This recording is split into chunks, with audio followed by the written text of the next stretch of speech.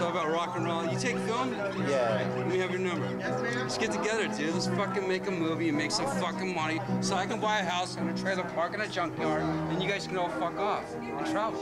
Let's do it. You got, you got all the projections and shit? I got some stuff. Oh, I just told him it was too loud. I had to get way in the back and I couldn't stand it. I had to get out of the room, in fact. But you love it, right? No, no, it not too loud. I don't love it. I love my ears more than I do the music. Ain't no grave gonna hold my body. No grave gonna hold my body. Ain't no grave gonna hold my body. No grave gonna hold my body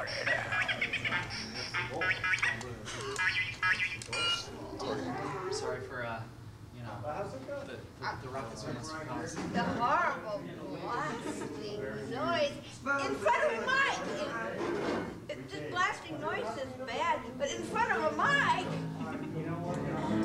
Oh, that's all right. that's all right. They used to drop a lot of LSD there.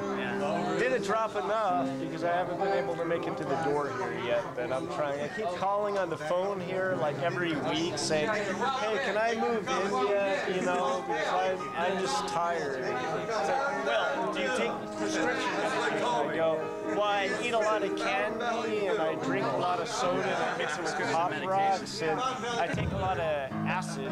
It's like, no, you need a psychiatrist prescription. I go, look, what do I have to do to show you that I'm worthy of living here?